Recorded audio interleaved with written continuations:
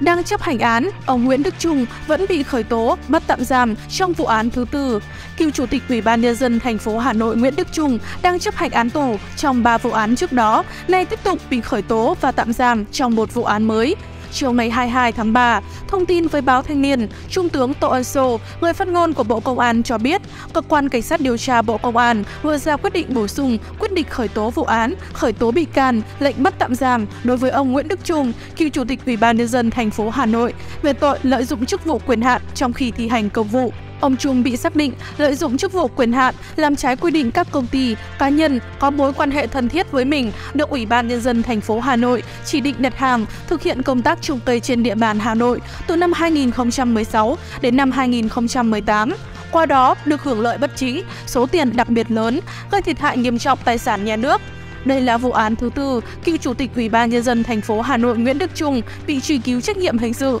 Trước đó, ông Trung đang thi hành tổng cộng 12 năm tù tại ba vụ án chiếm đoạt tài liệu mật, mua sắm chế phẩm Redoxy 3C và can thiệp đấu thầu tại Sở Kế hoạch Đầu tư thành phố Hà Nội. Nhiều người đặt câu hỏi là vì sao ông Trung đang chấp hành án nhưng vẫn bị ra lệnh tạm giam. Theo quy định pháp luật tố tụng, việc cơ quan điều tra ra lệnh bắt tạm giam đối với người đang chấp hành án tù là hoàn toàn hợp lý theo đó, sau khi ra quyết định khởi tố một bị can, cơ quan điều tra sẽ phải ra quyết định áp dụng biện pháp ngăn chặn với bị can này. Biện pháp ngăn chặn có thể là bắt tạm giam hoặc cấm đi khỏi nơi cư trú, hay còn gọi là tại ngoại. Với trường hợp của ông Trung, ông này đang chấp hành các bản án đã có hiệu lực pháp luật. Do đó, biện pháp ngăn chặn áp dụng sẽ là tạm giam. Như vậy, nếu ông Trung đang thi hành án tại nơi thuận lợi cho công tác điều tra, làm rõ vụ án mới thì không nhất thiết phải di lý. Ngược lại, nếu nơi thi hành án của ông Trung không thuận lợi cho việc điều tra thì cơ quan điều tra có thể di lý tới nơi tạm giam thuận lợi hơn.